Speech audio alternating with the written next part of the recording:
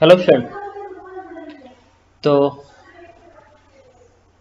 मैं TPT to तक discuss कर चुका हूँ और डीपीपी थ्री तक का सोल्यूशन भेज चुका हूँ। और आप, मैं समझ सकता हूँ कि आप डीपीपी थ्री तक आपको कंप्लीट सोल्यूशन क्लियर होगा। TPT topper test paper two तक कंप्लीट क्लियर होगा। ठीक है? तो अब मैं डिस्कस करने जा रहा हूँ टीपीटी थ्री और ये एक व्हाट्सएप ग्रुप है जिस पे मैं टीपीटी का पेपर सेंड कर रहा हूँ डीपीपी सेंड कर रहा हूँ।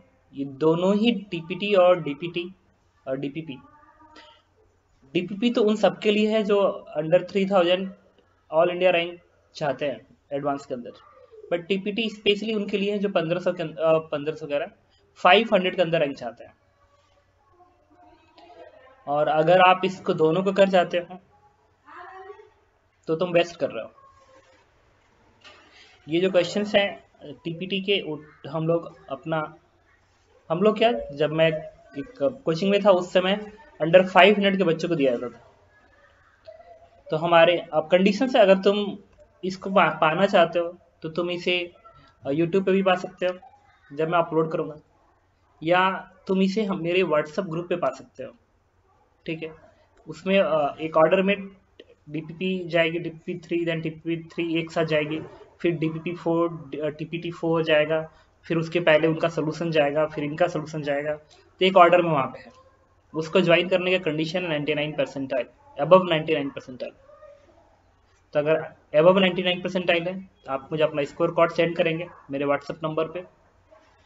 ठीक है? जो कि यूट्यूब पे ही मिल जाएगा।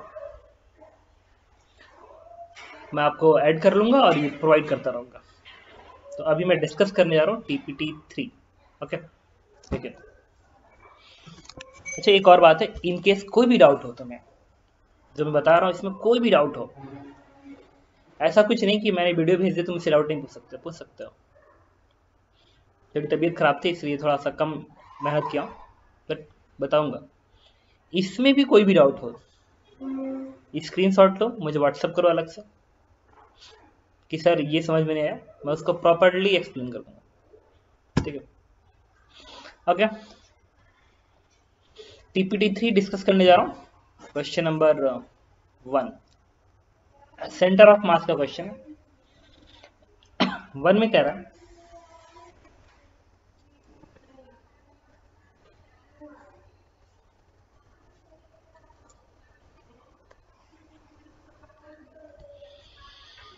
A sphere of mass m is moving with velocity this when it hit the smooth wall and rebound with the velocity na, find the coefficient of restitution between the sphere and wall इसमें कुछ important terms है the frictionless wall जब भी हम frictionless wall की बात करते हैं ना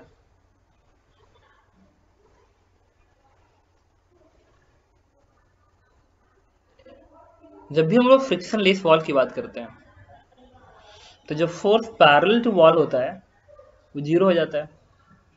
जब force parallel to wall zero है तो वेलोसिटी पैरल टू वॉल क्या चेंज होगा? नहीं। गुड तो क्या करेंगे? ये अगर वॉल है, और फ्रिक्शनलेस वॉल है तो इस वॉल के पैरल वेलोसिटी अनचेंज रहेगी कोफिशेंट ऑफ़ रेस्टिट्यूशन की इक्वेशन नॉर्मल के डायरेक्शन लगाना होता है। वन सेकेंड हो सकता है। ओके तो टीपीटी थ्री हम लोग डिस्कस कर रहे हैं। क्वेश्चन नंबर वन तो मैं बता रहा था कि ये जो वॉल है, इसके परपेंडिकुलर फोर्स लगेगा। इम्पल्सिव फोर्स क्योंकि ये फ्रिक्शनलेस वॉल है तो पैरल तो फोर्स आएगा नहीं तो पैरल वेलोसिटी चेंज नहीं होगी। और कोफिशिएंट ऑफ़ रेस्टिट्यूशन का इक्वेशंस कॉमन नॉर्मल के डायरेक्शन बनाया जाता है। Normal common underline normal common normal direction बनाया जाता है। तो फिर इस नॉर्मल का डायरेक्शन की ज़रूरत पड़ेगी। और नॉर्मल का डायरेक्शन किधर होगा? वेलोसिटी उधर चेंज होती है मोमेंटम उधर चेंज होता है, जिधर फोर्स अप्लाइड होता है। इसका मतलब उस पार्टिकल की जो वेलोसिटी दिया गया है ना, उससे हम पार्टिकल की वेलोसिटी का चेंज का डायरेक्शन चेक करेंगे। जैसे चेंज का डायरेक्शन होगा कॉमन नॉर्मल भी उसी डायरेक्शन में उस डायरेक्शन में क्या करेंगे? ई e का इक्वेशन लिख देंगे आंसर आ जाएगा। तो चलिए, टक्कर के पहले की वेलोसिटी है four I cap three J cap minus five K cap four I cap. One second तो ये इनिशियल वेलोसिटी है vectors four I cap plus three J cap minus five K cap and final velocity का vector है two two three तो two I cap two J cap plus three K cap अब पता करेंगे change का direction किधर change मतलब final से इनिशियल घटा दो। जब इससे इसे घटाओगे तो आएगा माइनस टू आई कैप इसमें से घटाओगे तो आएगा माइनस जे कैप इसमें से घटाओगे तो बनेगा एट के कैप तो this is the direction of normal impact wall तो रेस्ट में। तो ये जो डायरेक्शन है, ये एन के डायरेक्शन मान लिया। एन के डायरेक्शन ये डायरेक्शन एन के लॉन्ग है। वेलोसिटी सपोज़ करो, ऐसे आ रही है इस तरीके से। इनिशियल वेलोसिटी तो हमें पता करना पड़ेगा वेलोसिटी ऑफ़ ई क्या होता है? Velocity of separation upon velocity of approach तो वेलोसिटी ऑफ़ अप्रोच पहले निकालते हैं। भाई, जो पता हो पहले निकालते वेलोसिटी ऑफ़ अप्रोच अगर ये वाला एंगल थीटा है तो वेलोसिटी ऑफ़ अप्रोच बनेगा।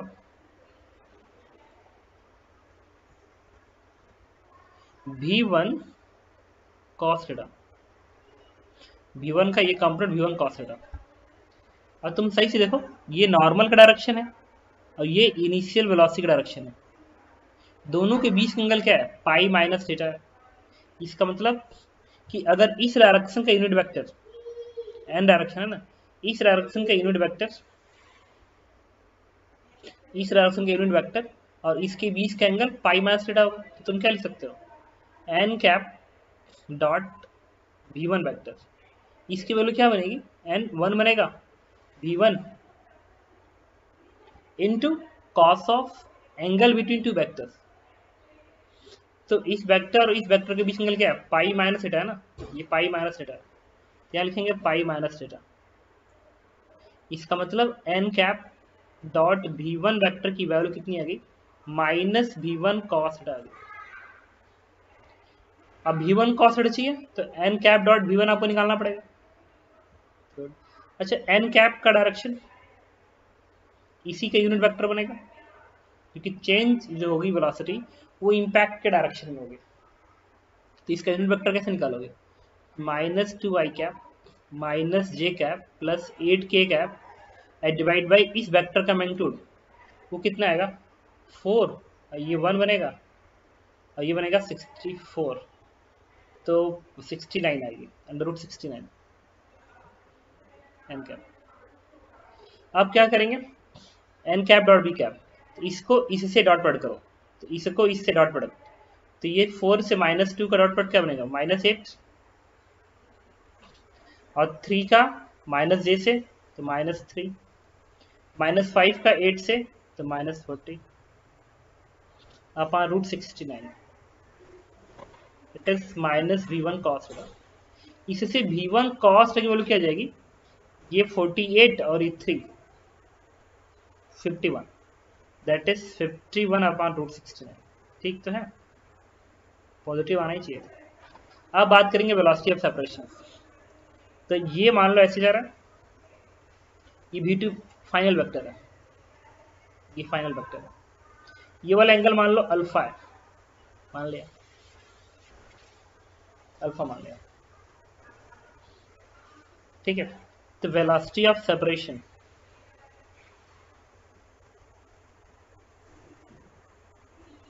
की वैल्यू क्या आएगी? V final cos of alpha इसका, इसके साथ डॉट वर्ड कर दो। डॉट वर्ड कर रहा हूँ। इसका इधर कंपोनेंट तो वी एफ़ कॉस अल्फ़ा अब ये निकालना है। तो फिर इसका, इसके साथ डॉट डॉट कर दो। तो सेम वर्क और मैं इसे हटा देता हूँ।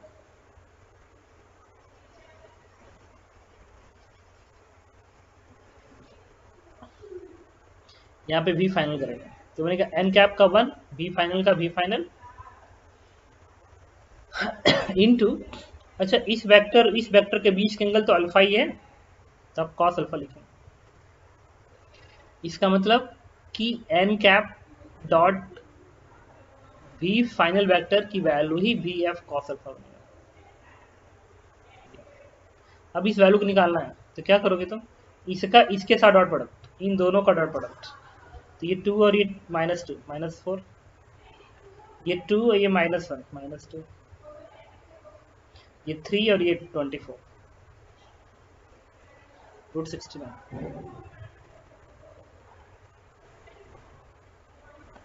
ये क्या आएगा? चौबीस से सिक्स हटा दो एटीन ये बन गया एटीन रूट सिक्सटी नाइन अब देखो वेलासिटी क्या होता है? वेलोसिटी ऑफ़ सेपरेशन ये है। एटीन अपॉन फिफ्टी वन बन जाएगा। ये किससे कटेगा? थ्री से कटेगा।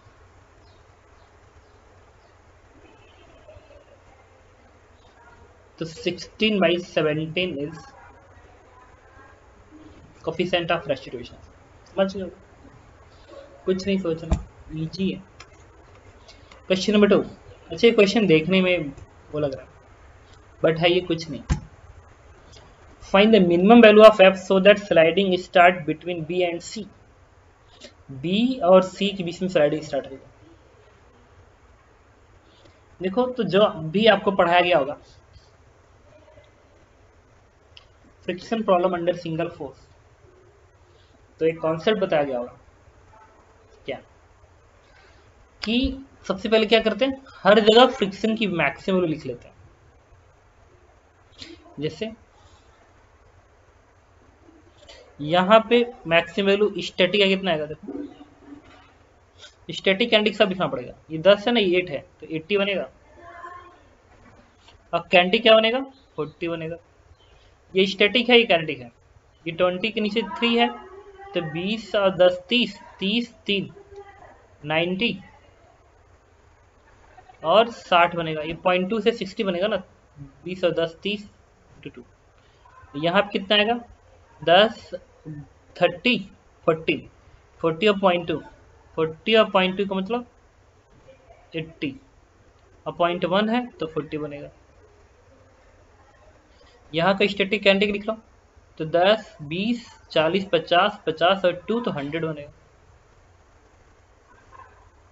अब पॉइंट वन है तो 50 बनेगा। अब अंडर सिंगल फोर्स क्वेश्चन में कहा जाता है कि under under single force first sliding उस लोअर कांटेक्ट पे होती है। ये पूरी अंडरलाइन है ध्यान अगर नहीं समझ में आ रहा तो अंडर सिंगल फोर्स और फ्रिक्शन के प्लेलिस्ट में जाइएगा। उसमें अंडर सिंगल फोर्स प्रॉब्लम कैसे हैंडल करते हैं? वो आपको मेरे यूट्यूब के चैनल मिल जाएगा, वहाँ से देख के स्टडी कर लीजिए आपको हर बात समझ में जाएगा। तो सिंगल फोर्स जहाँ लगाया जाता है तो पहली स्लाइडिंग फ़र्स्ट स्लाइडिंग अभी कहीं कोई स्लाइडिंग हो रही है तो सबसे पहली बार स्लाइडिंग जो लोअर कॉन्टेक्ट होते हैं ना, उनमें होता है, वो भी उनमें वहाँ होता है, जहाँ पे फ्रिक्शन लिमिटिंग फ्रिक्शन की सबसे कम हो। लिमिटिंग फ्रिक्शन की बोलो सबसे कम है। यहाँ पे तीन कॉन्टेक्ट है वन टू थ्री इन तीनों में लिमिटिंग फ्रिक्शन सबसे कम कहाँ पे है? 90 है 80 है 100 तो 80 है ना? ये. मतलब पहली स्लाइडिंग पता कहाँ हुई? बॉटम पर इसका मतलब 10 केजी ब्लॉक नीचे का जो 10 केजी ब्लॉक है, उसकी स्लाइडिंग नहीं होने वाली. तो ऊपर के जो तीन ब्लॉक है ना थ्री ब्लॉक ये सबसे पहले सज जाएँगे. मतलब थ्री ब्लॉक प्रॉब्लम बन गया. ये सज जाएँगे. दस के जी ब्लॉक को छोड़ दो, ऊपर वाले के जी ब्लॉक को व्हाइट बोर्ड पे चलो सॉल्व करते हैं question number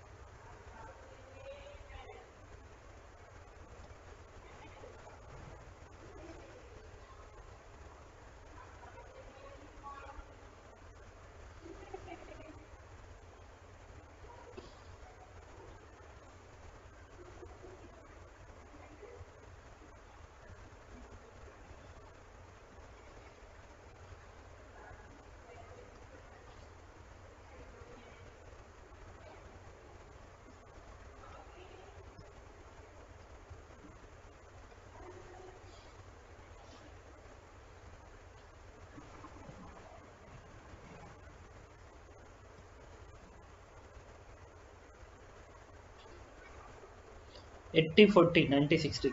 यहाँ पे एट्टी फोर्टी है नाइन्टी सिक्सटी है, एट्टी फोर्टी। क्वेश्चन में कह रहा है कि minimum F so that sliding start between B and C इस एफ़ की मिनिमम वैल्यू ताकि बी और सी में स्लाइडिंग शुरू हो जाए। तो पहली स्लाइडिंग तो यहाँ होगी। तो इनमें हम लोग कैसे सॉल्व करते हैं? पहली स्लाइडिंग यहाँ होगी तो तीनों साथ साथ जाएँगे। साथ जाएँगे, उसके बाद दूसरी स्लाइडिंग हुई चाहे यहाँ पे, चाहे यहाँ पे। और दूसरी होगी, उसके बाद अगर इस फोर्स बढ़ाओगे तो तीसरी होगी। इन अगर मान लो पहले यहाँ होगी, दूसरी यहाँ तो तीसरी तब यहाँ होगी। और अगर दूसरी यहाँ होगी तीसरी यहाँ होगी। ठीक है? ओके क्वेश्चन ये है कि क्या किया जाए? उन्होंने ऑलरेडी क्या रखा है कि बीसी में स्लाइडिंग हो जाए। तो पहली स्लाइडिंग यहाँ तो करवाना ही है। ये तो मान ही लो। क्योंकि हम प्रूफ कर चुके पहली स्लाइडिंग यहाँ पर होगी और दूसरी स्लाइडिंग यहाँ करवा देते हैं। और इसको मान लेंगे, अब एजम्सन है कि दूसरी यहाँ है कि यहाँ पे है। तो कहीं एक जगह मानना पड़ेगा ना, तभी तो आगे बढ़ पाओगे। तो मान लो कि दूसरी स्लाइडिंग यहाँ पर होगी ये मानते हो कि ऊपर स्लाइड नहीं है। और वहाँ का फ्रिक्शन को वेरीफाई कर लो। यहाँ का स्टैटिक फ्रिक्शन अगर आपने लिमिटिंग से कम है, तब ठीक है। पहली यहाँ हुई होगी दूसरी यहाँ और ये पूछ रहा था उस समय जो एफ़ आएगा वही आंसर जाएगा। और अगर वो फेल हो गया तो, तो आपको क्या करना पड़ेगा? पहली स्लाइडिंग यहाँ पे दूसरी यहाँ पे तीसरी यहाँ पे। इसका मतलब उस एफ़ के केस में जब यहाँ स्लाइडिंग होगी तो तीनों ही सरफेस साइड कर रहा हूँ। ठीक है? देखो मैं ऑलरेडी पढ़ा चुका हूँ तो इसलिए मैं ऐसे बोले जा रहा हूँ। तुम्हें ज़्यादा डिटेल जानना है इस कॉन्सेप्ट को तो क्या करना पड़ेगा? फ्रिक्शन के प्लेलिस्ट में जाइए। नहीं मेरे यूट्यूब के प्लेलिस्ट में फ्रिक्शन में जाइए। चैप्टर क्लास 11 फ्रिक्शन चैप्टर उसमें जाइए, ये लिखा होगा multiple block under single force proper आधा घंटा 45 मिनट का लेक्चर आप उसको देख लीजिए, आपको एक एक बात क्लियरली समझ में आएगी। तो चलो, मैं उसका यूज़ कर रहा हूँ। एजम्सन माना कि बी और सी के बीच में स्लाइडिंग होगी और ए और बी एक साथ है। ए भी एक साथ है। ए और बी एक साथ अच्छा मिनिमम एफ़ के केस में जब बी और सी स्लाइड कर रहा होगा तो इन दोनों का एक्सेलरेशन अप्रोक्सीमेट क्या होगा? इक्वल मिनिमम एफ़ अंडर आएगा जब मिनिमम एफ़ निकालोगे कि यहाँ स्लाइडिंग हो जाए, इसका मतलब इसका इसका एक्सेलरेशन जस्ट सेम होना चाहिए। तो यहाँ स्लाइडिंग हो ही रहा है और यहाँ होने की स्थिति में है और दोनों के सेम है। और होने की अगर कंडीशन में है तो यहाँ पे फ्रिक्शन मैक्सिमम में काम करेगा दैट इज़ 90 तो सी की एबीडी बनाएँगे। ऊपर फ्रिक्शन आएगा 90 तो 90 आगे दिखा दो। और बॉटम पे स्लिपिंग हो रही है ऑलरेडी पहले यही हुई थी तो 40 इस पे लिखेंगे एफ़ बराबर में। तो 90 माइनस फोर्टी बराबर मास इंटू एक्सिलरेशन इस ए की वैल्यू क्या आ गई फाइव अब ट्वेंटी के जी और टेन के। जी एक सिस्टम मान लो बेटर है। इससे इसके इसके बीच का फ्रिक्शन इंटरनल तरफ़ से गायब हो जाएगा, दोनों का एक्सेशन बराबर है यहाँ पे एफ़ दिखा दो। और यहाँ फ्रिक्शन 90 एफ़ माइनस नाइनटी बराबर टोटल मास 10 और 20 30 एक्सेलरेशन 5 है। नब्बे और 150 240 बट इसको वेरीफाई करना पड़ेगा। वेरीफाई करने के लिए यहाँ का रिक्वायर्ड फ्रिक्शन इस मैक्सिमम से कम आना चाहिए। इस एक्सेलरेशन पे। तो एक ये वीडियो बनाते हैं। देखिए एफ़ बराबर एम है। एम कितना है? टेन एक्सेलरेशन क्या है? फाइव फाइव है ना? एफ़ बराबर। ए ब्लॉक पे फ्रिक्शन बराबर मास ए का इंटू एक्सेलरेशन पचास। And fifty is less than यहाँ का static value that is eighty कम है। इसका मतलब जो आपने सॉल्व किया, सही सॉल्व किया। तो इसमें हो क्या रहा होगा? इस एफ़ की वैल्यू जब 240 से कम होगा तो ये तीनों ब्लॉक एक साथ जा रहे होंगे, लेकिन ये एफ़ इस 80 से ज़्यादा होना चाहिए। जब ये एफ़ इस 80 से ज़्यादा होगा तो तीनों ब्लॉक एक साथ जा रहे होंगे। तब तक, जब तक कि एफ़ टू फोर्टी अटेंड न कर ले। जब एफ़ टू फोर्टी अटेंड करेगा इससे थोड़ा ज़्यादा होगा तो फिर ये वाला ब्लॉक अलग एस से आएगा और इन दोनों ब्लॉक का एक्सेलरेशन एक साथ हो जाएगा और इसका एक्सेलरेशन इससे ज़्यादा होगा। और सिस्टम आगे जा रहा था। अब इस एफ़ को और बढ़ा देंगे तो एक सर्टन वैल्यू आएगी जब यहाँ भी स्लिपिंग हो जाएगी। फिर इन दोनों के पीछे कॉन्टेक्ट कट जाएगा। तब ये तेज भाग रहा होगा, ये धीरे भाग रहा होगा। तो सबसे तेज कौन मूव कर रहा होगा? फाइनली ये। उसके बाद ये, उसके बाद ये। और मिनिमम वेब के केस में, ताकि इस केस की स्लडिंग हो जाए। तो आंसर इज़ टू फोर्टी बहुत बहुत ज़्यादा एक्सप्लेन करके इतनी ज़रूरत नहीं थी। आप शुरुआत में देख के समझ जाइए। देखो क्वेश्चन बहुत अच्छा है इसी इतना भूल गया। तुम्हें ज़्यादा जानना है सोच रहा हूँ प्लेलिस्ट में जाओ। थ्योरी जब पढ़ोगे तब तो समझोगे। जाके देखो थ्योरी एकदम प्रॉपरली एक्सप्लेन एग्ज़ाम्पल के थ्रू क्यों ऐसा हो रहा है। ओके क्वेश्चन नंबर थर्ड पे आते हैं। थर्ड कह रहा है कि, a brick is given an initial speed 5 feet per up an inclined plane at angle 30 degree from horizontal. The coefficient of friction is mu. After 0.5 second, how far the brick from original position? You may take g की value this लेना ही पड़ेगा मैं क्या question number third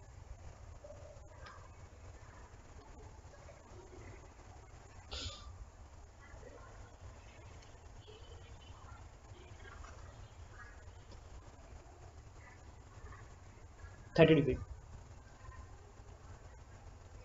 ये initial position एक block को मैंने यहाँ से प्रोजेक्ट कर दिया। फाइव फीट पर सेकेंड से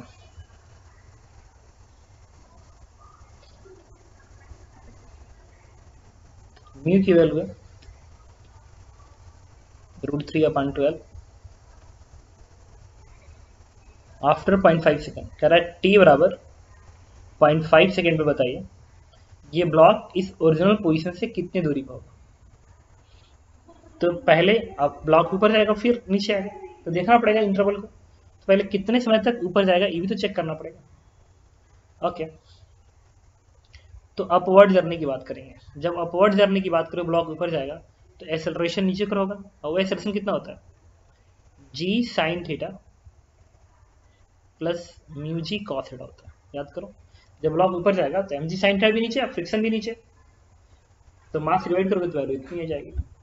क्वेश्चन में दी थर्टी टू है। Sine theta is one by two mu कितना है? Root three by twelve again G कितना है?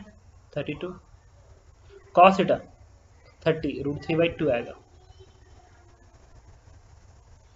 अब देखिए। ये थ्री का टर्म इसे कट करेंगे। तीन चौक को बारह, चार बनाएगा, चार दूनी आठ। बत्तीस। कैलकुलेशन तुम्हें चेक करना पड़ेगा ध्यान रखना तीन चौक को बारह, चार दूनी आठ, चौक को बत्तीस, और ये सोलह। That is twenty upward journey downward journey he please लो। डाउनवर्ड जर्नी में जब वो ब्लॉक नीचे को आ रहा होगा तो एसेलरेशन ऊपर को होगा। और ये एसेलरेशन होता है जी साइन थीटा ब्लॉक नीचे आ रहा है। तो एम जी साइन थीटा नीचे। एम जी साइन नीचे और फ्रिक्शन ऊपर ये तो एम जी साइन थीटा है तो सिक्सटीन नीचे होगा। और और ये वाला टर्म पूरा पूरा फोर है ना, पूरा पूरा फोर है, नहीं? कैलकुलेट में फोर आया था ना, तभी तो सोलह प्लस फोर ट्वेंटी बना था फोर घटा दो दैट इज़ ट्वेल्व इसका मतलब कि जब ब्लॉक ऊपर जाएगा, उसके बाद वो नीचे आएगा तो एसेक्शन ट्वेल्व का होगा। और जब ब्लॉक ऊपर जाएगा तो एसेक्शन ट्वेंटी का होगा। Final velocity zero. होगी इनिशियल वेलोसिटी फाइव है minus A T acceleration twenty into T one time कितना लगा? Five by twenty one by four अच्छा कितना डिस्टेंस से कवर करेगा? ये डिस्टेंस अगर एस है एक्स वन है एक्स मान लो, कितना डिस्टेंस कवर करेगा? तो फाइनल वेलोसिटी ज़ीरो का स्क्वायर इनिशियल क्या है फाइव का square twenty five minus two A into displacement X V का स्क्वायर माइनस टू एक्स तो एक्स की वैल्यू क्या आएगी पच्चीस by two into twenty five by eight इतना दूरी कवर करेगा इतने सेकेंड ये कितना? है पॉइंट टू फाइव है ना? तो पॉइंट फाइव सेकेंड है। अब पॉइंट टू फाइव जाने में खत्म हुआ। तो कितना टाइम डाउनलोड करने के लिए बचा हुआ टाइम है? अगेन पॉइंट टू फाइव बचा हुआ है मतलब वन अपॉइंट फोर और बचा हुआ है। तो कितना दूरी और नीचे कवर करेगा? और मान लो एक्स वन दूरी कवर किया। तो क्या करोगे? एस बराबर U T plus half square S U कितना है? Zero initial velocity zero half A कितना है? Twelve into T one upon four का square it is one upon sixty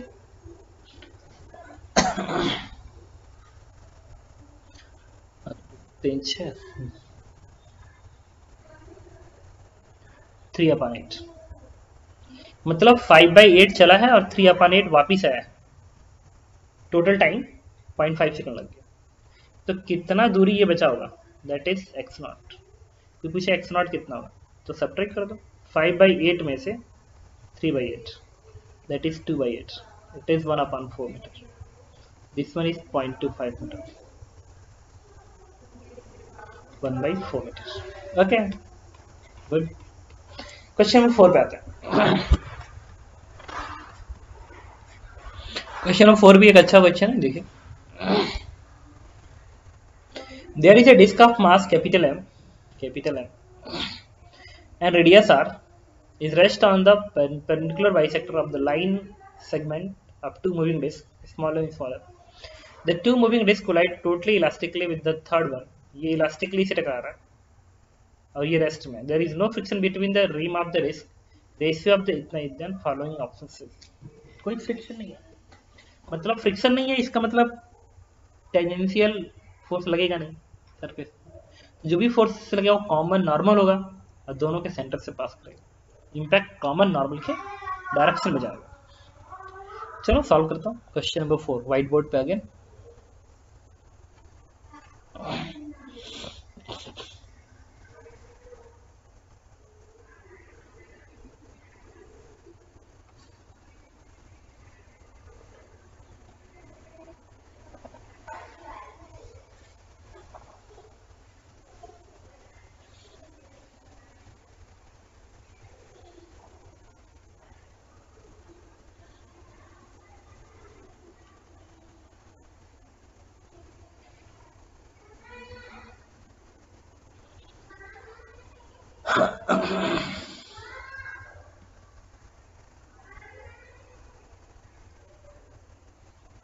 ये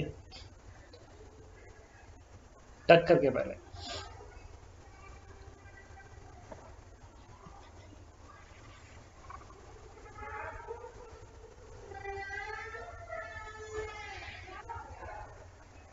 ठीक है। और क्या रह गया? Capital M upon small M स्त्री देखिए। Capital M upon small M स्त्री मतलब इसका मास स्मॉल एम है। तो इसका मास थ्री एम है। और ये रेस्ट में था। इसकी स्पीड क्या है भी है और ये इनिशियली रेस्ट में था। टक्कर इलास्टिक है और ये सरफेस फ्रिक्शनलेस है। तो कोई भी फोर्स ये तो आएगा नहीं, ये तो आएगा अच्छा बताओ।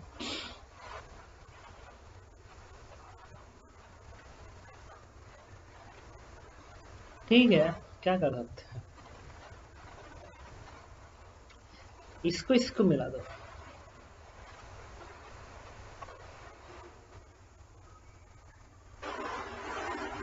मिला दिया अच्छा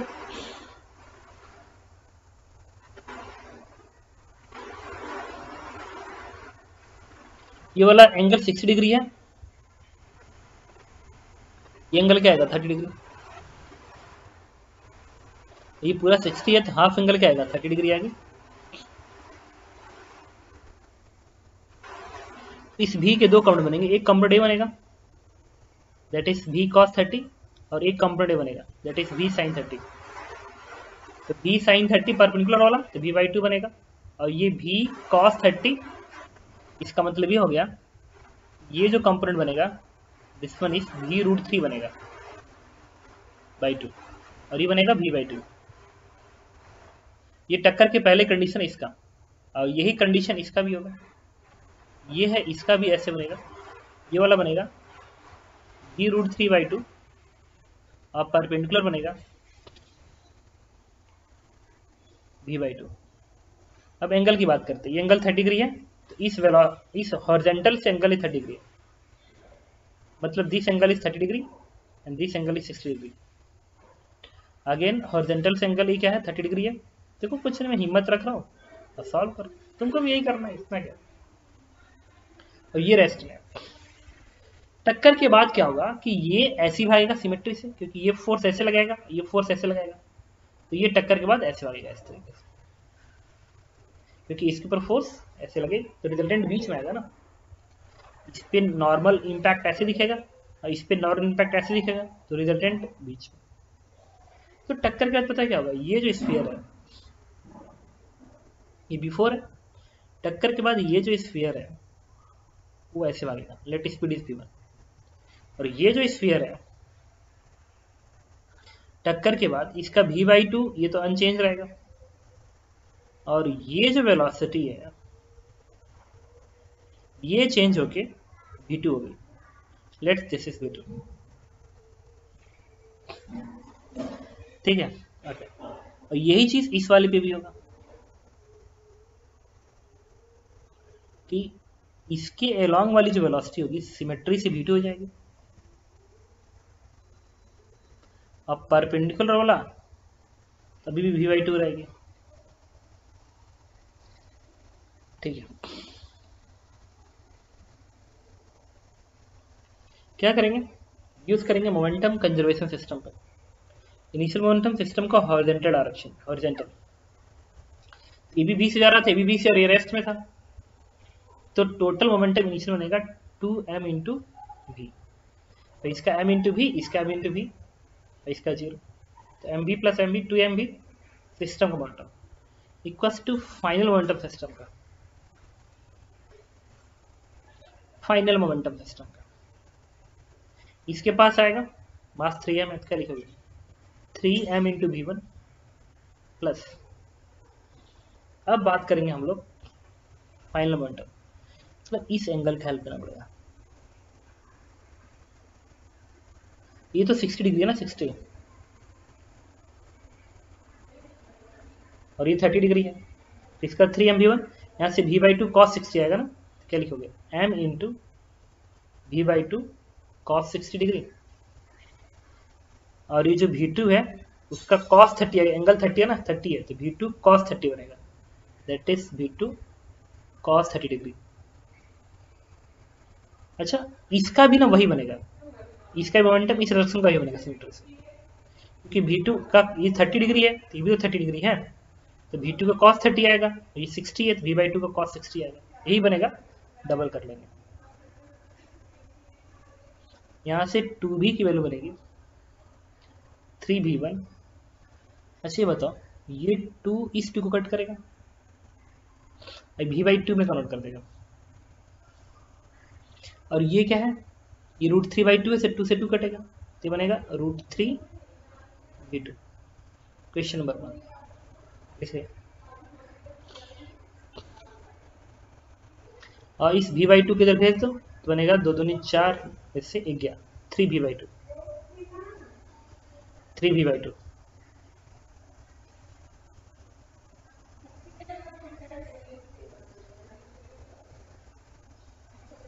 और ये बड़ा सा प्लस लगा दो इसमें अब लिखेंगे ई के इक्वेशन इलास्टिक कोलिजन है। वन बराबर velocity of separation divide by velocity approach approach निकाल लेते हैं, आसानी से निकलेगा। अच्छा ये रेस्ट में था। तो इधर कॉमन नॉर्मल है ना, इस डायरेक्शन में ये कितने से आ रहा है? भी रूट थ्री बाई टू से आ रहा है। यही अप्रोच है। ऊपर लिखेंगे separation velocity of separation separation यहाँ से आएगा। ये वाला एंगल क्या है? दैट इज़ थर्टी ये भी एंगल क्या है? थर्टी तो वी वन का कॉस थर्टी इम्पैक्ट ऐसे लगेगा ना? तो V one cos thirty degree और ये वी टू है ना इधर? तो सब्ट्रैक्ट कर रहा है तो माइनस वी टू तो वी वन कॉस थर्टी दूर जा रहा है तो सप्रेशन प्लस आएगा, ये पास जा रहा था माइनस इससे इक्वेशन बन गया तुम्हारा। अब मैं सबको हटा दू एक बार।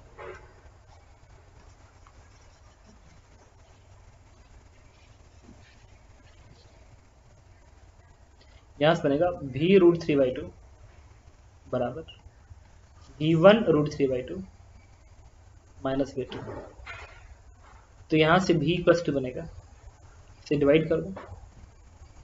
बनेगा V one two by root three question number two. अब ये दो इक्वेशन है, दो अनोन है, सॉल्व करो आंसर भी देगा क्या करेंगे? इससे थ्री से थ्री हटा दो पहले। थ्री से थ्री का टर्म हटाओ। वन बाई रूट थ्री बन जाएगा। अब इस इक्वेशन को इसमें जोड़ दें। तो टू हटा रहे तो टू यहाँ पे टू भी हटा दो। तो टू यहाँ जाएगा टू यहाँ जाएगा। जब इसको इसमें जोड़ोगे तो इससे कैंसिल आउट हो जाएगा। वी वन और two V one three V one बनेगा। Three V one equal to two भी आएगा। वी भी ऐड होगा। ओके कोई बात नहीं, अब डिस्कनेक्ट हो गया, इसलिए चला गया। बट हाँ आंसर आया था टू बी बाई थ्री अगर तुम कैलकुलेशन चेक किए होगे तो। बड़े वाले ब्लॉक की वेलोसिटी थी टू बी बाई थ्री तो उसमें ऑप्शन में देख लो। After collision the velocity of the block of mass capital two B by three ठीक है? और स्मॉलर ब्लॉक की वेलोसिटी पता करनी है तो क्या करेंगे? आप जो निकाले थे, दूसरा वाला वैल्यू निकाल लीजिए अंडर रूट करके पर उनको जो वेलोसिटी आई थी, ये वाली वेलोसिटी और ये वाली वेलोसिटी ये वाला निकल जाएगा। ये वाला आया था शायद वी बाई टू ना? और ये शायद मैंने माना था वी टू माना था शायद, जहाँ तक मुझे आ रहा है वी टू वी टू या वी वन कुछ माना था। तो इस वी वन को निकाल लीजिए और इसको निकाल लीजिए। फिर इसकी वेलोसिटी क्या आएगी? स्मॉल एम की।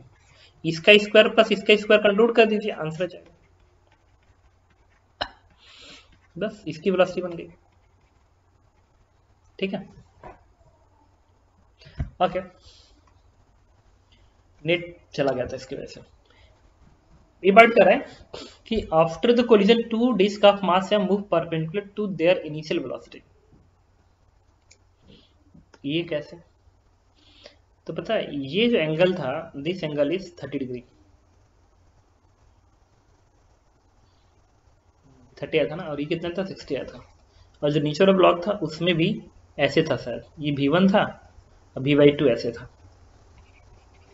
और ये जो एंगल था दैट इज़ 30 डिग्री ये था 60 डिग्री अब देखना है कि इसमें और इसमें एंगल कितने का तो क्या करेंगे? ये वाली जो वेलोसिटी थी भी ऐसे था ना तो भी का कॉस थर्टी बना था तो भी बनाया था। और साइन थर्टी वाला बी वाला भी वाइट था।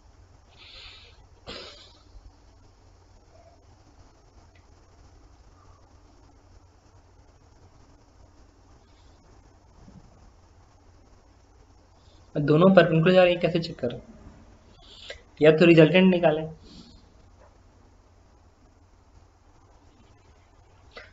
इस v1 की वैल्यू पता करके इसके वेलोसिटी का रिजल्टेंट निकाल लो और इसके वेलोसिटी का रिजल्टेंट निकाल लो। हॉरिजॉन्टल से दोनों के एंगल निकाल लो, आंसर दे देगा। V1 पता नहीं मैं कर देता। ये देखो, बताता हूँ कैसे निकालेंगे। ये वाला एंगल कैसे आएगा? Horizontal V one cos thirty and plus V by two cos sixty ये V by two cos sixty V one cos thirty और वर्टिकल कैसे निकालेंगे? V one sine thirty minus V by two sine sixty. आ गया। ये we Y है, ये we x है। तो कोई पूछे कि हॉरिजेंटल सेंगल कितना है? इसकी horizontal angle that is theta तो टेन थीटा किससे आएगा? थीटा वन लिखो। Tan theta one is this length upon this length तो V Y upon V X.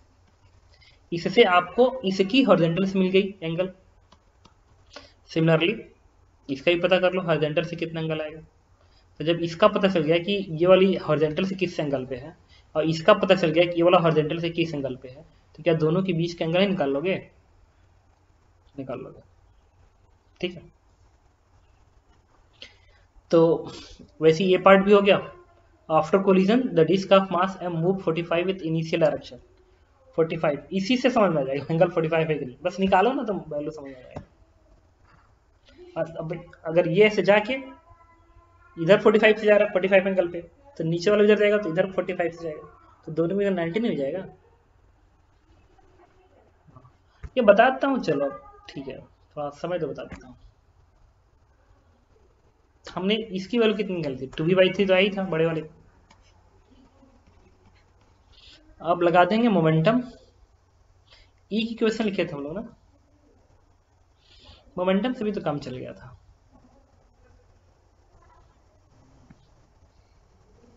बताऊँ? बताता हूँ। चलो, अभी समझ जाएगा, देखना।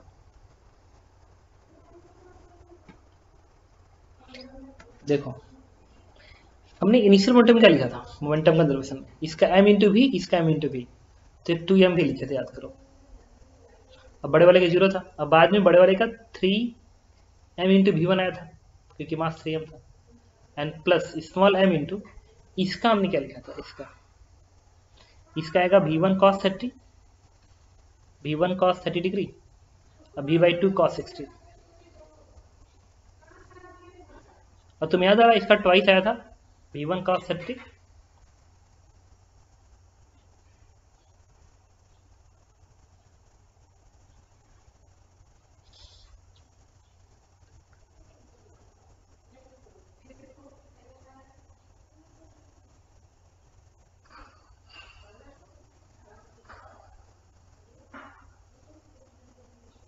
ठीक है तो हॉरिजॉन्टल लिखे थे horizontal horizontal v by two cos sixty v one cos sixty v one cos sixty v by two ठीक तो है?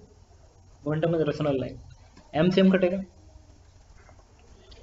और हमारा जो वी वन था,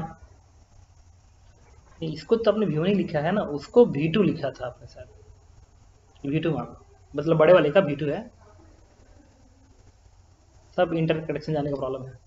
वी टू आया था हमारा टू वी बाई थ्री उठा के प्लेस कर दे तो बनेगा टू वी और थ्री वी टू है ना? तो यहाँ पे थ्री वी टू लगाओगे तो टू वी बनेगा ये प्लस ये है ट्वाइस ये वी वन है। वी वन तो यही था ना? V one cos thirty it is v one root three by two ये वन बाई टू तो वी बाई फोर बनेगा। ये टू से टू कटेगा। ये भी से कैंसिल हो जाएगा। ओके इससे क्या प्रूफ हुआ? इससे प्रूफ होता है कि जो v1 की वैल्यू होगी माइनस इसको इधर भेजो तो टू भी upon four root three two भी अपान फोर रूट थ्री तो माइनस भी अपान टू रूट थ्री आएगा वी वन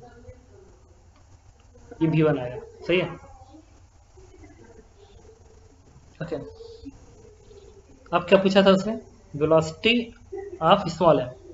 इसकी वेलोसिटी पूछ रहा तो v one square plus v by four के स्क्वायर बनाएँगे तो वी वन हमारा कितना आया स्क्वायरिंग करो। कि बनेगा वी स्क्वायर अपान स्क्वायरिंग करोगे तो फोर इंटू थ्री ट्वेल्व बनेगा। ये है वी स्क्वायर बाई फोर तो थ्री यहाँ मल्टीप्लाई कर दो थ्री यहाँ कर दो। तो तीन एक चार बाई ट्वेल्व बनेगा। ना फोर बाई ट्वेल्व मतलब? और वी बाई रूट थ्री बनेगा। ठीक है? V by root three root C part भी सही कह रहा है। अब ये चेक कर लो। ये वैल्यू निकाल लेते ना वैल्यू प्लेस करके। एंगल के लिए। तो V1 कितना है? V1 है कितना Vy निकाल लेते हैं पहले। ये वैल्यू कितने की पूरी? Vy V1 कितना है? गिवन है। Minus v by root three two root three and sine thirty one by two minus v by two root three by two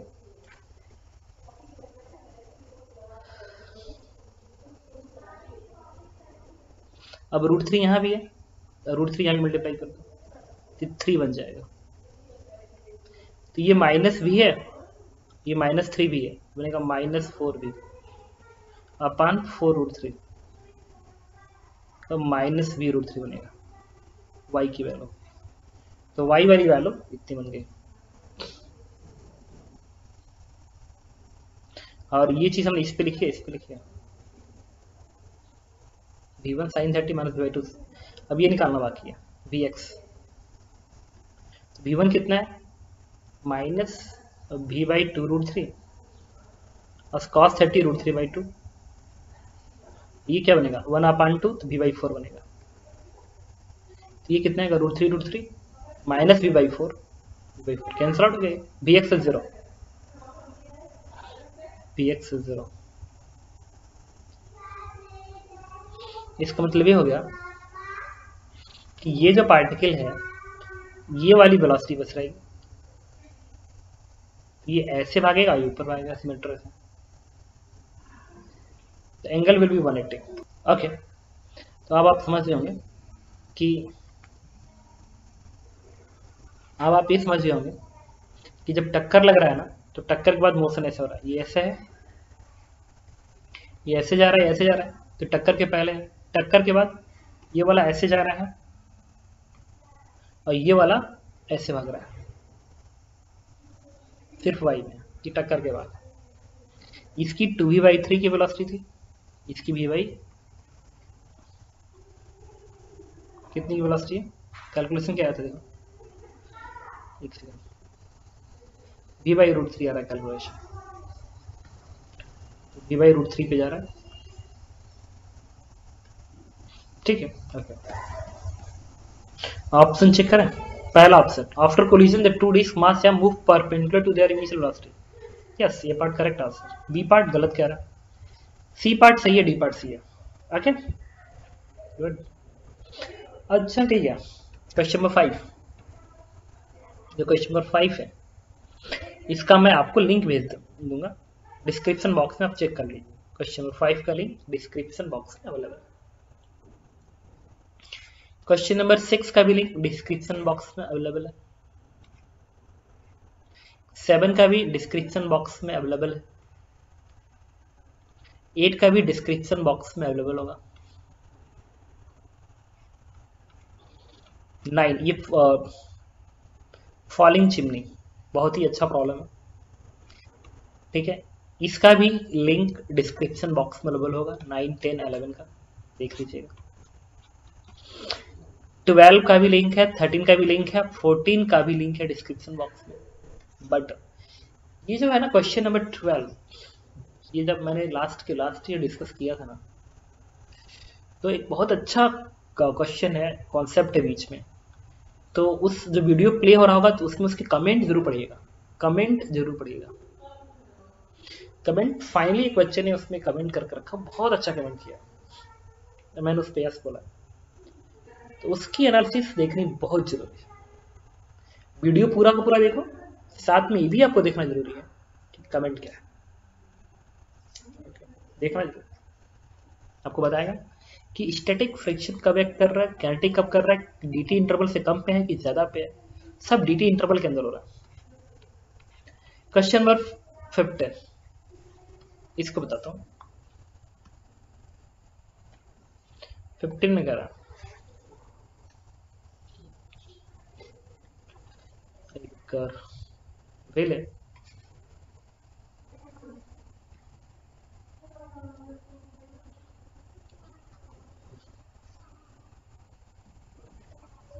चलिए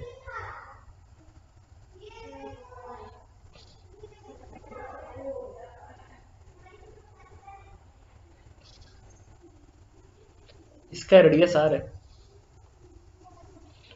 Angular velocity omega radius 5 metre है। And angular velocity 2 radian per second है।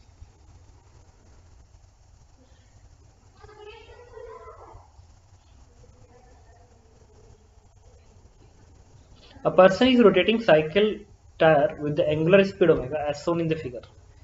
Splashes mud from the rim of the tire of the radius r are spinning at speed of v square is given gr.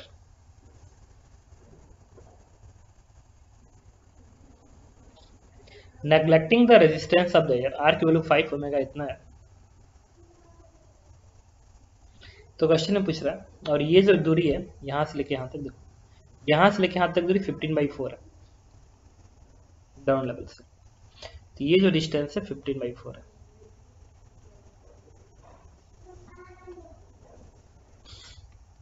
Maximum height up to which the mud particle can go अगर wheel में mud लगा हुआ चारों तरफ़ तो अगर wheel घूम रहा है तो जो मड है, वो मैक्सिमम कितने हाइट तक जाएगा? ग्राउंड से। Angle made by mud particle from horizontal for the maximum height from the ground level which is calculated in question number 15 इसमें बताना है angle made by mud particle from horizontal for the maximum height from the ground level ground से maximum height पे जाने के लिए ये particle इस व्हील को जब छोड़ रहा होगा उस समय उसका हॉरिजॉन्टल एंगल कितना होगा 17 velocity of mud particle at maximum height from ground calculated in question number 15 अभी जो मड पार्टिकल मैक्सिमम हाइट पे होगा तो उसकी वेलोसिटी कितनी होगी, ये निकालना है।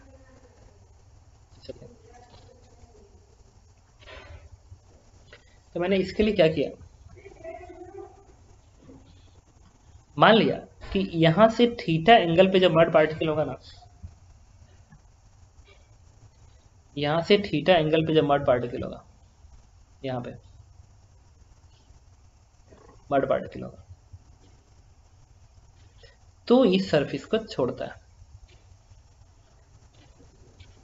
फिर ये मैक्सिमम हाइट प्रोजेक्टाइल मोशन बनाएगा। ऐसे। हाँ, उसके बाद ये ग्राउंड पे आएगा। ओके तो ये एंगल अगर थीटा है तो भी क्या आएगा थीटा तो ये क्या आएगा? 90 माइनस थीटा बनेगा। देखो ये थीटा है तो ये बनेगा थीटा ये पूरा 90 है बनेगा 90 माइनस थीटा अच्छा अगर ये सर्कुलर मोशन कर रहा है तो इसकी वेलोसिटी क्या होगी यहाँ पे? That is r omega r omega से रिलीज़ होगा। ओके. तो ये जो हाइट आएगी ये हाइट ये हाइट अगर स्मॉल एच तो इसकी वैल्यू क्या आएगी? मैक्सिमम हाइट का formula u square sine square theta u square sine square theta upon two g तो यहाँ से एच की वैल्यू क्या आएगी? R square omega square cos square theta divide by two g तो ग्राउंड लेवल से height h कितना होगा? यहाँ से इसकी हाइट कितनी होगी? मैक्सिमम हाइट वो पूरा यहाँ से यहाँ तक जोड़ोगे ना तो दूरी क्या है? फिफ्टीन बाई फोर प्लस यहाँ से लेके यहाँ तक की दूरी, ये दूरी कितनी होगी? ये आर है तो इसमें आर ऐड करोगे। प्लस अगर ये आर है तो ये क्या आएगा? R sine theta r sine theta r sine theta okay तो ये दूरी निकालिए फिफ्टीन बाई फोर ये है आर ये बनेगा आर साइन थीटा क्योंकि रेडियस आर है तो आर साइन थीटा फिर ये वाला हाइट एच और इसमें जोड़ दो। That is r square omega square cos square theta upon two g ये फॉर्मूला बन गया। तो ये है मैक्सिमम हाइट का फॉर्मूला ग्राउंड से इस मड पार्टिकल का। लेकिन ये जो एच है, वो तो थीटा के फ़ंक्शन में है। थीटा चेंज करोगे एच चेंज होगा। तो अगर एच को मैक्सिमाइज करना है तो इसका डिफ्रेंसिएशन ज़ीरो होना चाहिए। अगर आप एच को मैक्सिमाइज करना चाहते हो तो इसका डिफ्रेंसिएशन ज़ीरो कर दो। That is zero is equal to theta के रिस्पेक्ट में। तो डी एच अपॉन डीटा ये ज़ीरो तो ये ज़ीरो बनेगा, ये भी ज़ीरो आएगा।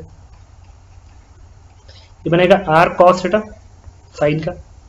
यहाँ से आएगा r square omega square upon two g and cos square theta that is two cos theta and again cos का minus sine theta minus sine अब आर से आर कटेगा, एक कॉस इसको कट कर दो टू से टू कटेगा। अब ये वन बनेगा, ये बनेगा r omega square sine theta upon g बनेगा। तो यहाँ से साइन थीटा की जो वैल्यू आएगी r omega square upon g और क्वेश्चन में आर फाइव है, देखो। ओमेगा टू के बराबर है तो टू का मतलब फोर स्क्वायर बनेगा जी टेन वट हैपन गलत हो गया ना साइन थीटा बनेगा g upon r omega square उल्टा बनेगा। ठीक है? G upon r omega square value place कर देगा, आएगा one upon two this means theta is thirty degree तो हॉरिजेंटल से जो एंगल बन रहा होगा, वो जब थर्टी बना रहा होगा, उस वक्त जो मड पार्टिकल निकल रहा होगा उसकी हाइट इस ग्राउंड से सबसे ज़्यादा ऊपर होगी। angle is 30 degree the option is b part. And velocity of mud particle at maximum height, ठीक है? अच्छा वेलोसिटी यही होगी मैक्सिमम हाइट पे। तो this is v excel that is r omega ये आर ओमेगा है हॉरिजॉन्टल कंपोनेंट तो r omega cos of 90 theta that is sin theta तो आर ओमेगा थीटा 30 डिग्री आया है सॉल्व करके तो sin 30 प्लेस करेंगे तो हाफ़ बन जाएगा. आर है 5 ओमेगा 2 तो 5 to 10 upon 2 that is 5 5 maximum height attained by mud particle ये निकालना है. कुछ नहीं, क्या करोगे तो ये तो थर्टी आया है ना, उसको उठा के इसमें रख दो. इसको उठा के इसमें रख दो। और आर ओमेगा की वैल्यू प्लेस कर दो। पूरा जोड़ दो। आगे एच की वैल्यू ये तो सिंपल इसको कैलकुलेट करने के बाद इसकी वैल्यू आएगी फिफ्टी इसको सिंप्लीफाई करोगे वैल्यू आएगी पंद्रह मीटर ओके इसके बाद क्वेश्चन नंबर एटीन इसमें कह रहा है कि space ship of mass m nought move in the absence of external force with the constant velocity v naught to change the motion direction. A jet engine is switched on. Spaceship एक spaceship form उड़ रहा है, जिसका mass am not है move in absence of external force बाहर से कोई भी फोर्स नहीं है। With the constant velocity v nought जा क्वेश्चन नंबर 18 18 में क्या है कि एक स्पेसशिप है, जो कि मान लो v नॉट से जा रहा है। मास एम के बराबर है। मास एम नॉट है? To change the motion direction jet engine switch run it start erecting a gas jet with velocity u with respect to constant relative to the spaceship and directed at right angle to the spaceship motion तो ये जो स्पेसिप है ना, इसके perpendicular direction में, वो relative speed you से gas को इजेक्ट कर रहा है। मान इधर जा रहा है और उसको डायरेक्शन चेंज कर रहा है। वो चाहता है इधर जा इधर। जब इधर जाना चाहता है तो गैस को ऊपर फेंकेगा। नहीं।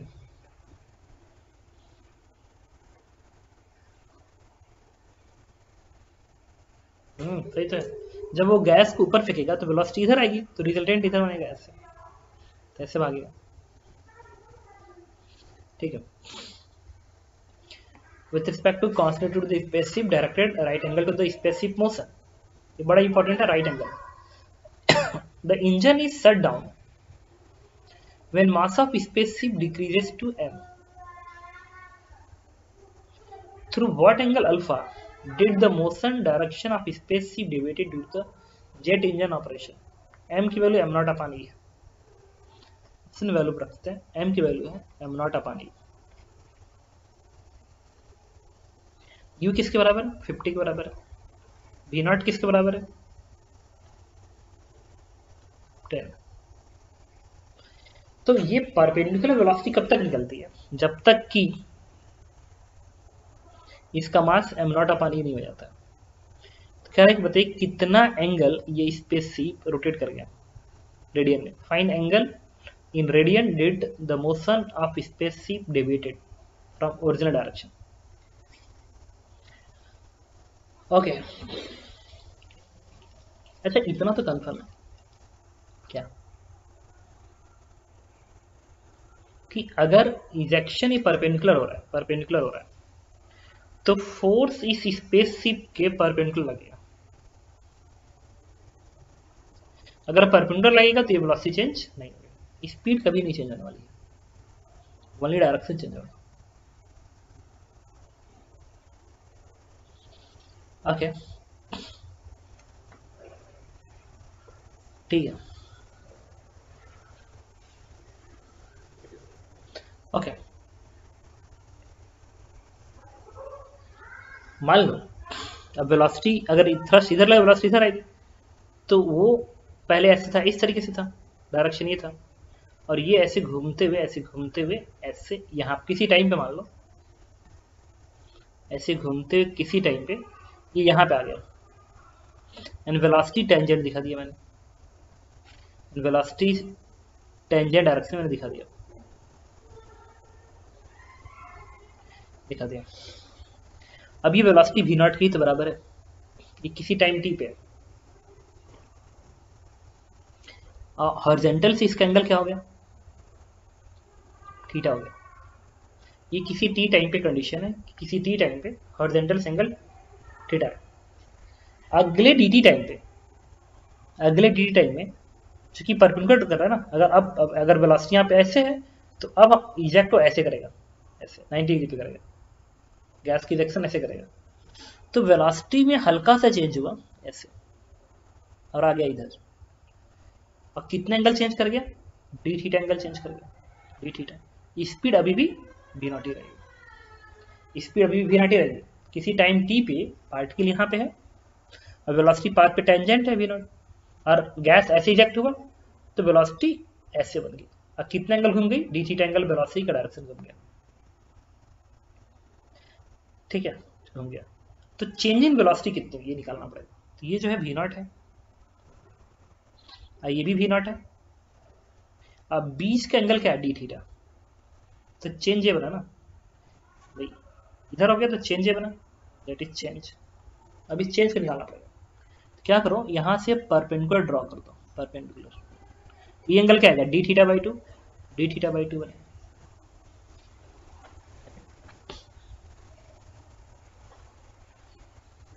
तो अगर ये वी नॉट वेक्टर है, ये वी नॉट वेक्टर है तो ये जो वेक्टर बनेगा that is d v vector change in velocity vector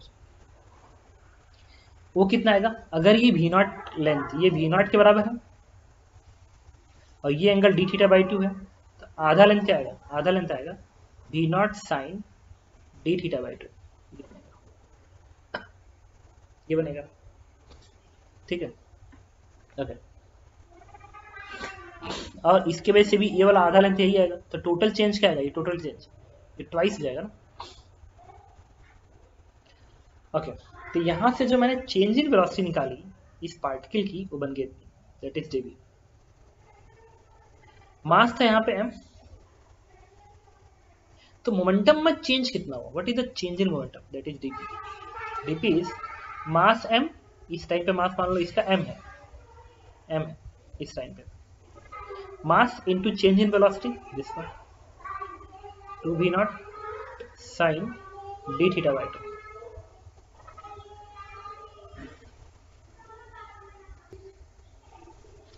okay but ये जो डी थीटा है ना, ये डी थीटा बहुत ही स्मॉल है।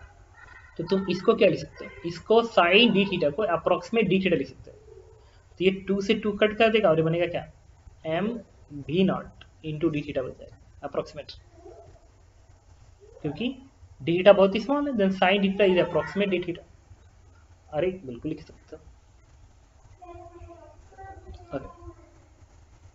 अच्छा बताओ ये जो गैस बाहर को निकल रही स्पीड यू से, वो थ्रस्ट फोर्स लगाएगी और थ्रस्ट फोर्स की वैल्यू होती है V relative D M by D T V relative U है, क्योंकि ये यू के रिलेटिव वेलोसिटी से गैस को बाहर निकाल रहा है। U relative D M by D T और उससे मास का चेंज आया था D M by D T T time पे मास एम है तो अगले टी टाइम में डी एम मास बाहर निकलेगा तो आप ये लिखिए। अच्छा इसको इधर भेज दो। ये क्या बन गया? यू डी एम बन गया। अच्छा क्या ये इम्पल्स है? Of course change in momentum बनेगा तो ये मोमेंटम चेंज ये मोमेंटम चेंज बराबर है। उठा के वैल्यू रख दो। बराबर कर दो। इक्वेट करो। ध्यान से बनेगा। M V naught D theta बराबर। M V naught D theta बराबर। This one you D M से बनेगा V naught D theta D M upon M now interpretation जब थीटा की वैल्यू ज़ीरो थी तो उस वक्त उसका मास क्या था? एम नॉट था। और थीटा थीटा पे वैल्यू क्या हो गया? एम हो गया। तो यहाँ से क्या आएगा? यहाँ से आएगा इंटीग्रेट करके वी नॉट इंटू थीटा बराबर। ये बनेगा यू ये बनेगा L N M upon M naught और देखो एम अपान एम नॉट की वैल्यू क्या आएगी?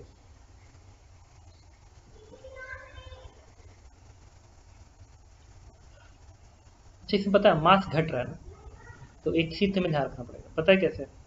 ये तो इंक्रीज कर रहा है प्लस भी प्लस है मास घट रहा है माइनस एक माइनस साइन तुम्हें यूज़ करना पड़ेगा। माइनस साइन ठीक है? तो बनेगा माइनस हालाँकि नहीं यूज़ करो तो मैग्नीट्यूड से काम चलाना पड़ेगा। यू तो यू रहने दो। यू कितना है? फिफ्टी है ना? फिफ्टी रख दो। यह है L N M upon M naught तो एम अपान एम नॉट आएगा वन अपान ई तो बनेगा L N one upon E it is minus L N E L N E is one अब यू नॉट किस बराबर है? टेन तो ten into theta बराबर fifty what is theta it is five approximate five तो value is five radian question number nineteen nineteen में कह रहा है कि a particle constant on a smooth spherical surface of radius r is projected horizontally from a point at the level of the center so that angular velocity relative to the axis is itna. Find the maximum depth z below the level of the center of approximately. एक ball है अगर उसमें बहुत तेज आपने project कर दिया तो ऐसे घूमते हुए ऐसे घूमते हुए आएगा और फिर वो उसी सेंस में रहते हुए ऊपर चला जाएगा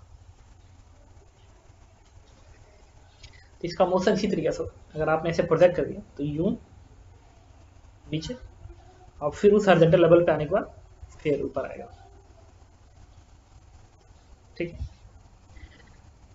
मैक्सिमम डेथ जेड बिलो ठीक है?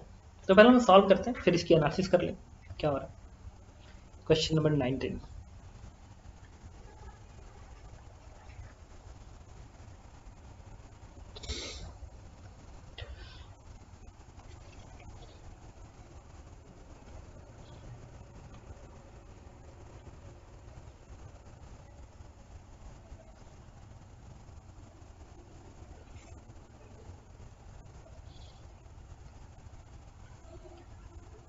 यहाँ पे पार्टिकल है जिसका मास एम है। और आपने इसका वेलोसिटी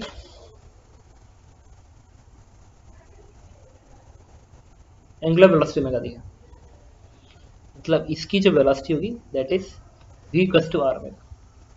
तो ऐसे घूमते हुए, ऐसे घूमते हुए, ये मान लो यहाँ पे आता है। इस लेवल पे आता है। ठीक है। पहले था यहाँ पे। ऐसे घूम रहा था। ऐसे घूमते हुए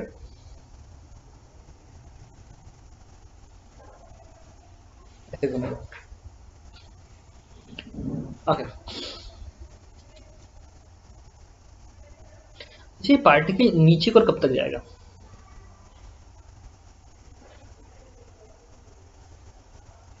जब तक इस पार्टिकल के पास नीचे पर वेलोसिटी होगी। जब तक इस पार्टिकल पर वेलोसिटी नीचे कर होगी, तब तक ये नीचे को जाएगा। तो ऐसे घूमते हुए, जब जहाँ पे एकदम बॉटम पे आ जाएगा, वहाँ वेलोसिटी हॉरिजॉन्टल हो जाएगी। फिर ऊपर जाएगा। क्योंकि अगर नीचे को लगातार बढ़ती रहे बढ़ती रहे, इसे पता क्या हुआ होगा? कॉमन सेंस से क्या हुआ होगा? सब एनालिसिस कर दूँगा बट अभी कॉमन सेंस बता रहा इसमें हुआ कि पहले हॉरिजॉन्टल वेलोसिटी है। तो बिकॉज़ ऑफ़ एम जी वो नीचे को जाएगा। जब नीचे को जाएगा तो स्पीड बढ़ेगी। वाई की स्पीड बढ़ेगी। फिर वाई की स्पीड बढ़ते बढ़ते मैक्सिमम हो जाएगी जगह पे। फिर वो घटते घटते घटते घटते फिर वाई वाली ज़ीरो हो जाएगी। और वाई वाली ज़ीरो हो गई तो फिर वो ऊपर। तो पहले वाई की वेलोसिटी इंक्रीज करेगी सर्टन डिस्टेंस तक फिर वाई की वेलोसिटी डिक्रीज करके ज़ीरो हो जाएगी। फिर ऊपर जाएगी वाई की वेलोसिटी बढ़ेगी, फिर घट के ज़ीरो तो y के डायरेक्शन में पार्टिकल की वेलोसिटी पहले इंक्रीज करेगी, फिर डिक्रीज फिर ज़ीरो करेगी, फिर ऊपर आके इंक्रीज फिर घट के ज़ीरो तो ये इसी लेवल पे ऐसे घूमता रहेगा।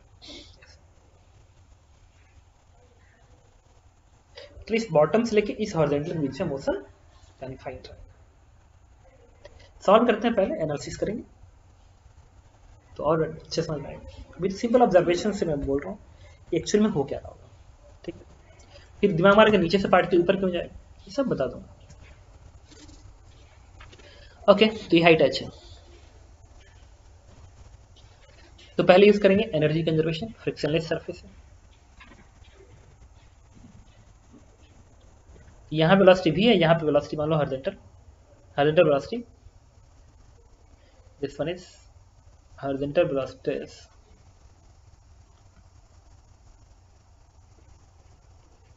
is v1 हम लिखेंगे। एनर्जी कंजर्वेशन तो बॉटम की स्पीड मान लो हॉरिजॉन्टल स्पीड v1 होगी v1 हॉरिजॉन्टल स्पीड v1 तो एनर्जी क्वेश्चन यहाँ की kinetic energy half M into V का square kinetic energy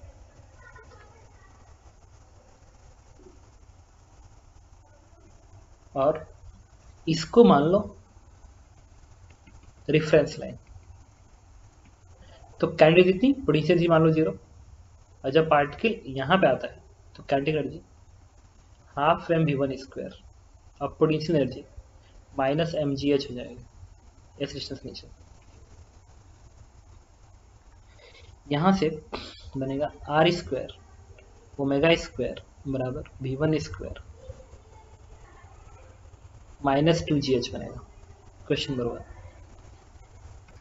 angular momentum conservation की क्वेश्चन किया एंगुलर मोमेंटम कंजर्वेशन इसलिए, क्योंकि पार्टिकल जब वीडियो बनाओगे तो नॉर्मल रिएक्शन ऐसे एम जी ऐसे लिखेगा और कोई फोर्स है नहीं। तो ये जो एक्सिस है ना, इस एक्सिस के बहुत टॉर्क की बात करो। एक्सिस के बहुत टॉर्क की बात करो। तो ये एन इसी एक्सिस से पास करेगा, और एम जी एक्सिस के पैरल है इसलिए टॉर्क ज़ीरो आएगा। इसका मतलब इस एक्सिस के अलोंग एंगुलर मोमेंटम कंजर्व रहेगा, क्योंकि टॉर्क ज़ीरो है। तो इनिशियल एंगुलर मोमेंटम क्या लिखोगे? एम बी की जगह पे R omega M V into R R दूरी बनेगी, क्योंकि वेलोसिटी परपेंडिकुलर है तो M V into R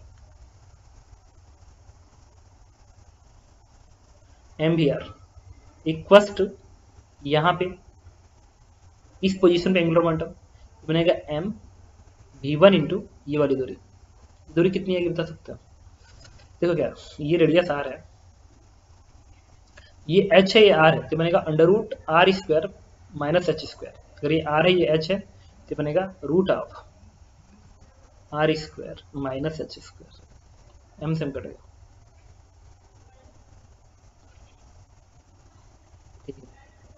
इससे भी वन की वैल्यू मैं निकाल लूँगा that is R square omega divide by R square minus H square अब इस वी को उठा के तुम यहाँ प्लेस कर दो, और आंसर आएगा। देखो आर स्क्वायर ओमेगा स्क्वायर बराबर। अच्छा ओमेगा स्क्वायर आर की वैल्यू जी से बहुत ज़्यादा है। ओमेगा स्क्वायर आर की वैल्यू जी से बहुत ज़्यादा है। ठीक है।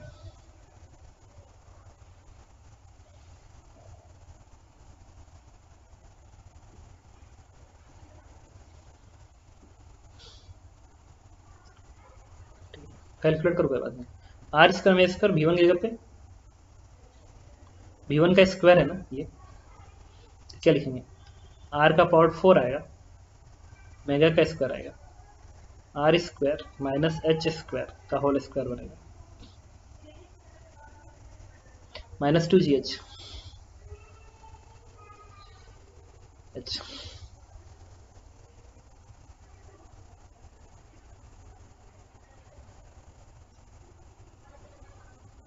क्वेश्चन में आर ओमेगा की वैल्यू क्या दी गई क्वेश्चन में ओमेगा टू है। ओमेगा टू है। बस। ओमेगा की वैल्यू टू दी गई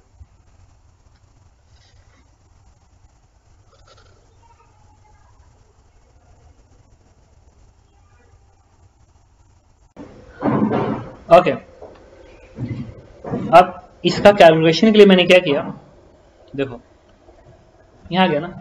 इस एंगल को थीटा मान लिया। इस एंगल को थीटा मान लिया। ठीक है। तो इसका मैं क्या लिख सकता हूँ? आर स्क्वायर ओमेगा स्क्वायर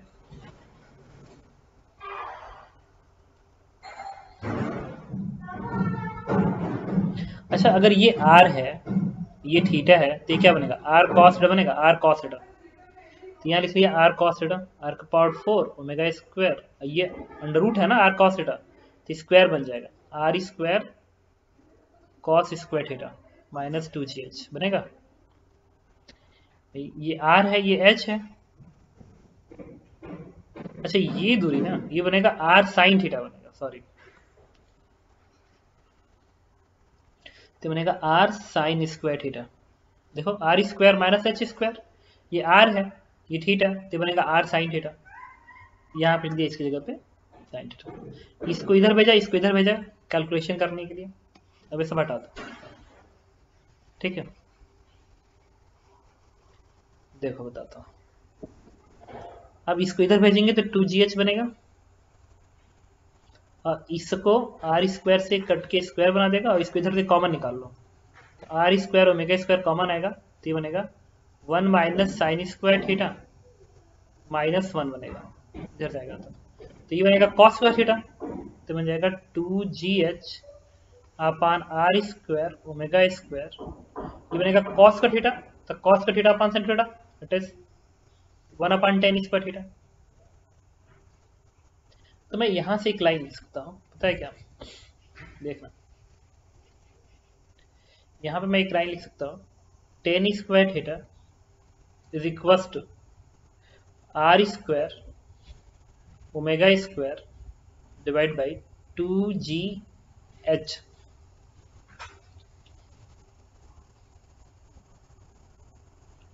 हमने कैलकुलेशन फिर मिस्टेक कर दिया। ओके okay, तो ये थीटा चूँकि क्वेश्चन का गया कि R omega square is greater than G अगर आर ओमेगा स्क्वायर जी से बहुत ज़्यादा है देखो मेंशन तो अगर आर ओमेगा स्क्वायर की वैल्यू जी से बहुत ज़्यादा है, इसका मतलब ये पूरी वैल्यू इससे बहुत ज़्यादा होगी। इसका मतलब टेन स्क्वायर थीटा की वैल्यू बहुत ही ज़्यादा होगी। तो ये थीटा की वैल्यू बहुत ज़्यादा आने वाली है। इसका मतलब पता है क्या है? ये यहाँ पे ना दिख के, ये कुछ ऐसे दिखना चाहिए, ऐसे दिखना चाहिए इस तरीके से। ऐसे। ये थीटा बहुत ही ज़्यादा दिखेगा। ये। इसका मतलब ये दूरी, ये तो रेडियस है, ये भी रेडियस है। तो मुझे बताओ अगर मैं यहाँ से परपेंडिकुलर ड्रॉ कर दूँ, यहाँ से परपेंडिकुलर ड्रॉ करूँ, ऐसे। तो अगर ये थीटा है तो भी क्या आएगा थीटा तो तुम टाइन थीटा की वैल्यू रफली क्या लिखोगे? टाइन थीटा इस ट्रायंगल में। टाइन थीटा बराबर परपेंडिकुलर ये दूरी। अच्छा ये दूरी और ये दूरी लगभग सेम आएगी, क्योंकि ये थीटा बहुत ही ज़्यादा है। तो ये थीटा बहुत ज़्यादा तो ये जो आर्क है, वो अप्रोक्सीमेट इसी एक्सिस के, इस हॉरिजॉन्टल लाइन के पास में रहेगा। तो टेन टा क्या टेन थीटा आएगा दिस लेंथ ये लेंथ लगभग आर बनेगा। Upon perpendicular upon base base ये है एच एच रिप्लेस कर दो यहाँ पे। स्क्वायरिंग करोगे तो क्या बनेगा? आर स्क्वायर एच स्क्वायर बराबर। R square omega square upon two G H H से एच कट गया। इससे एच की वैल्यू सॉल्व हो गया क्या आ गई? Two G upon omega square अब वैल्यू प्लेस कर दो। टू जी की जगह पे टेन क्वेश्चन में ओमेगा दिया गया कितना?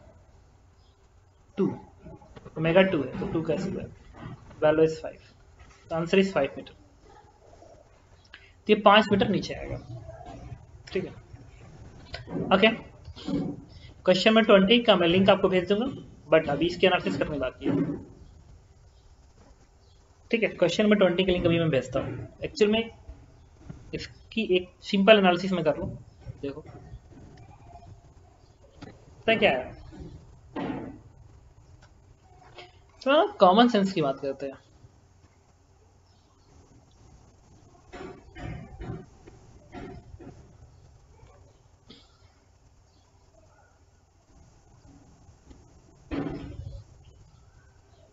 देखो एमजी के वजह से इसको तो नीचे जाना ही था। क्योंकि जिस ओमेगा से घूम रहा था, अगर उसी ओमेगा से तुम घूमते तो सेंट्रीफ्यूगल ऊपर दिखाते। ऐसे अबे और एम नीचे दिखाते, और नॉर्मल रिएक्शन तुम ऐसे दिखाते।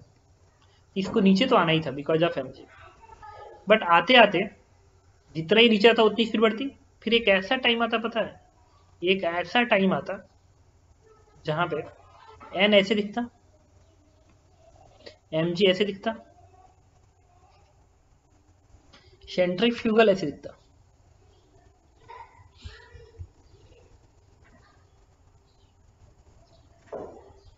सेंट्रीफ्यूगल समझना मुश्किल है।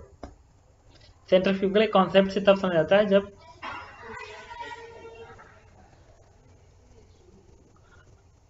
जिस ओमेगा से घूम रहा हो ना, उसी ओमेगा से तुम भी घूम रहे हो।